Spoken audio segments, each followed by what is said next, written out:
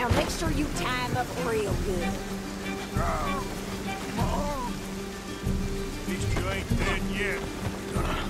Make these nice and tight.